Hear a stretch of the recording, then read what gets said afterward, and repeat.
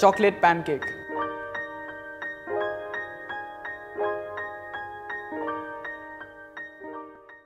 Hello friends, welcome to Sanjeev Kapoor Khazana. My name is Afraz and now I'm going to show you a pancake. Yes, but a chocolate pancake. So let's go ahead and run through the ingredients. Refined flour, grated chocolate, cocoa powder, egg, caster sugar, melted butter, icing sugar, milk, baking powder, salt. So to begin with, I'll take a bowl and sieve refined flour, baking powder and cocoa powder.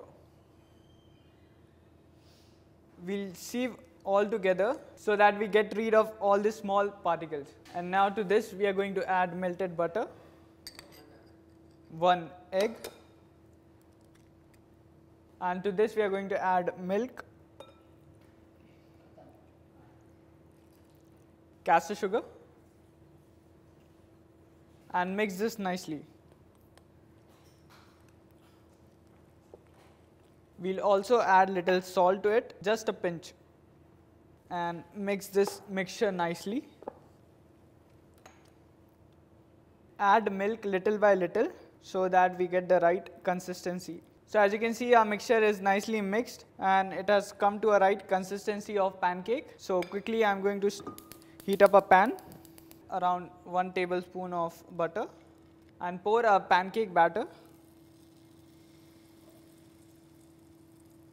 We'll flip this and cook from both the sides till nice and golden.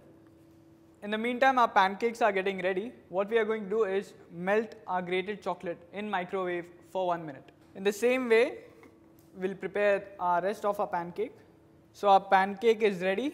So now we will dust our pancake with little icing sugar. And now we are going to pour uh, melted chocolate over it. So here it is, a delicious yummy chocolate pancake ready just for you.